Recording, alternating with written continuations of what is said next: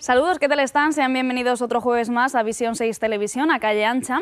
Según un reciente estudio de Ellos Demoscopia, casi el 60% de la población albacetense no conoce a su actual alcalde. Hoy vamos a cruzar estos datos, vamos a analizar también bueno, pues ese casi año de gobierno de Manuel Serrano, se cumple un año en julio, y también, bueno, pues aprovechando esta mesa de debate esta noche, también abordaremos eh, los últimos datos de la encuesta del CIS. Lo primero que voy a hacer, como siempre, es presentarles quiénes tenemos con nosotros esta noche. Tenemos a Víctor Raúl López, es politólogo y profesor de la Universidad Regional. Buenas noches. Buenas noches. También nos acompaña Domingo Martínez, periodista. Hola. Muy buenas noches. Por este lado de la mesa eh, retomamos a Hernando Martínez, como militante de base de Ciudadanos. Buenas noches. Eh, buenas noches. Soy más cosas, pero bueno. Muchas ya, cosas, hombre, ya, lo sabemos, así. claro que sí. Bueno, muchas cosas más.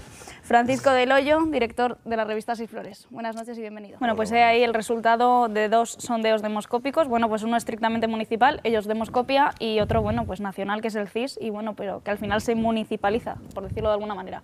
Eh, una primera intervención abierta, Víctor Raúl. Bueno, pues ¿cómo está la circunstancia?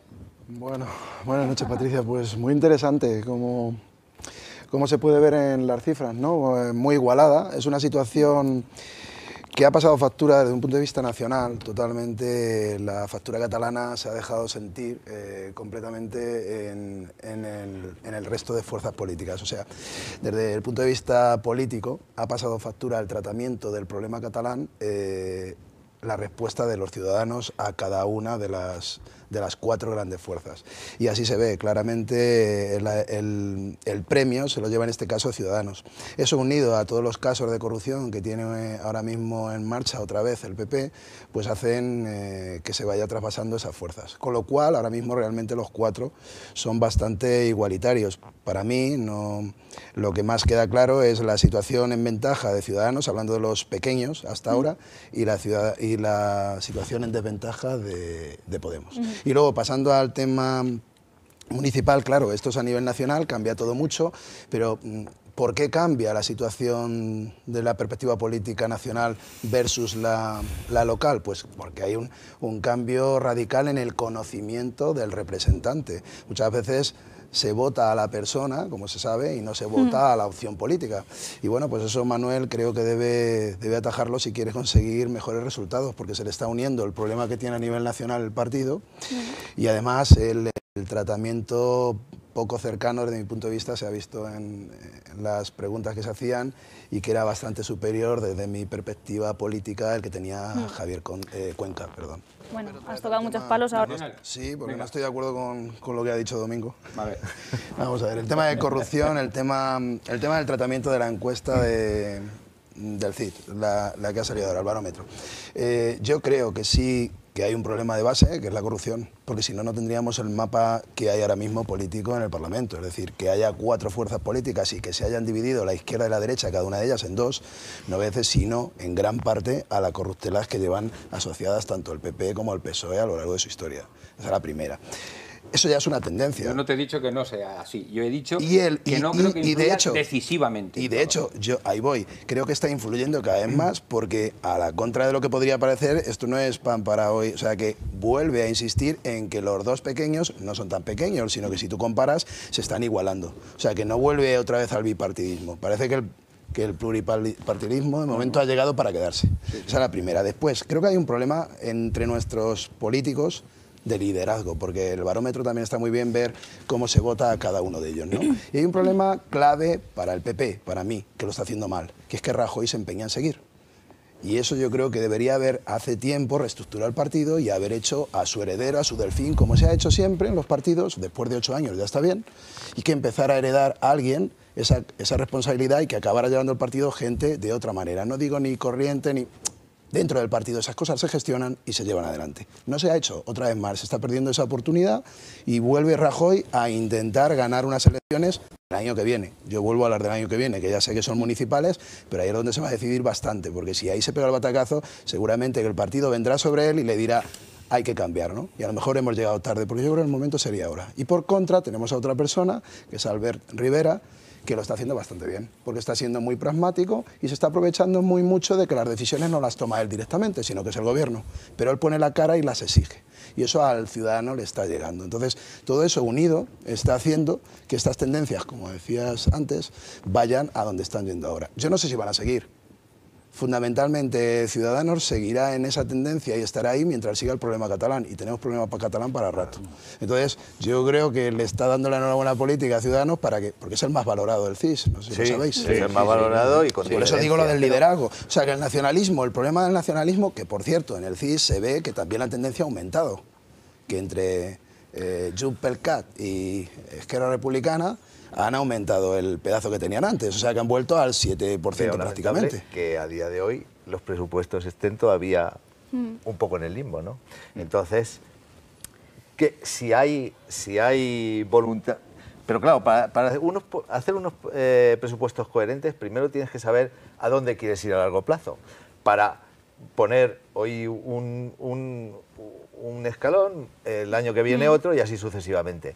Y como yo creo que este es un ayuntamiento de administración que no mira más allá, que simplemente va a ver cómo cuadra las cuentas, pues así es lo que pasa. Yo creo que falta, yo creo, insistiendo en vuestra idea, creo que falta proyecto y eso es lo fundamental que yo veo en Albacete. Eh, y falta una visión de futuro que a la que estábamos acostumbrados en tiempos, por ejemplo, voy a recordar, que yo siempre le tengo mucho cariño, lo siento, por, pero Manuel Pérez Castel sí que tenía una visión amplia que nos contagiaba a todos. Se salía por arriba. Bueno, pues, pero nos contagiaba a todos. Había como que iba a cambiar todo, iba, o sea, la ilusión que transmitía y se hacía ver. Luego iba a los barrios, etcétera. No lo quiero poner bueno, lo he puesto ya de ejemplo, pero también tenía, sí, también, tenía una bonanza histórica en ese momento, ¿no? La supo aprovechar y le fue bastante bien. Pero quiero decir que viendo lo distinto que estamos y en la situación que estamos, sí que ahora no veo, o sea, yo voy a la feria cuando siempre hay un stand del ayuntamiento con las posibilidades que tiene la ciudad, bueno, está vacío prácticamente, no hay contenido, está como estaba hace unos años, no hay ninguna visión de por dónde vamos a ampliar, por dónde vamos a mejorar, qué infraestructura. Ya sé que estamos en malos momentos, pero no hay nada de eso. El parque biosanitario no sé cuántas veces se nos ha prometido en la Universidad de Castilla-La Mancha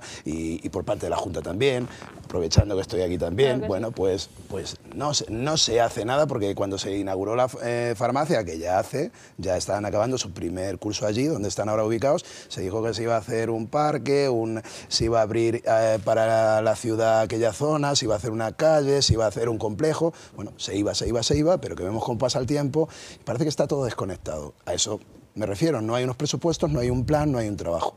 Por parte de Ciudadanos, y con esto acabo, creo, sin conocerlo y quizá metiéndome lo conoces tú más, creo que le falta copia de lo que está haciendo Albert Rivera eh, a nivel nacional. Tiene que empezar a dar cancha al PP y no seguirle tanto y empezar a, dar quiere decir a dar caña. A dar caña, sí, efectivamente. en, tema, en tema, o sea, tiene que empezar a mostrarse si quiere ser opción de gobierno en un año.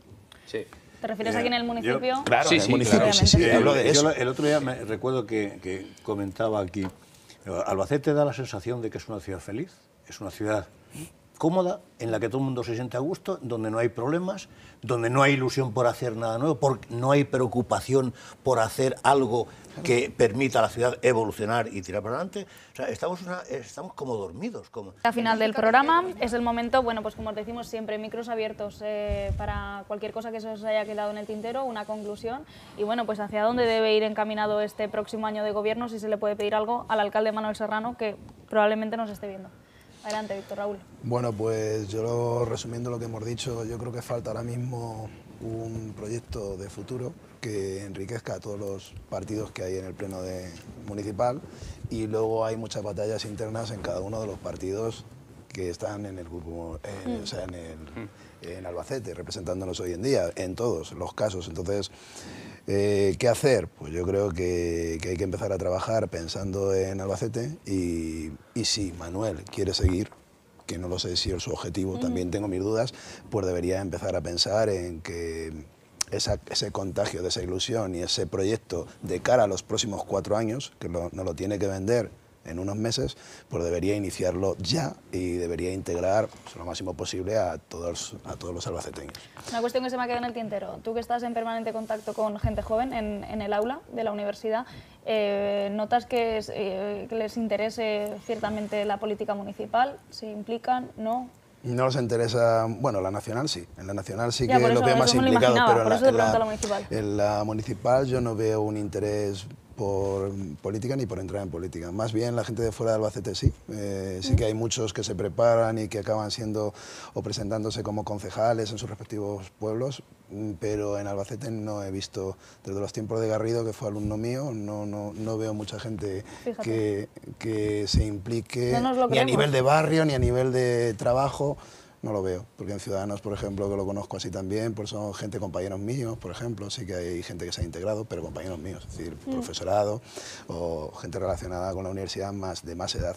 Gente joven no, la gente joven eh, hubo una- un boom de Podemos en su, en su momento y que están echando... en cierto momento, ¿no? Sí, en su momento hubo un boom en, la- en las facultades y que hubo una ilusión por parte de la gente joven, pero hoy en día ni Podemos ni ningún otro son referencia aquí. Ya digo, está como lo que decías, está Adormecido, como ¿no? adormecido totalmente.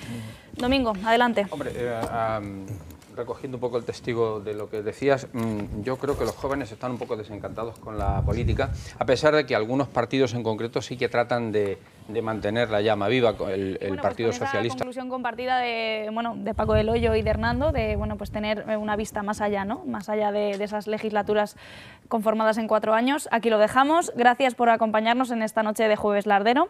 Saben que regresamos eh, la semana que viene. Adiós.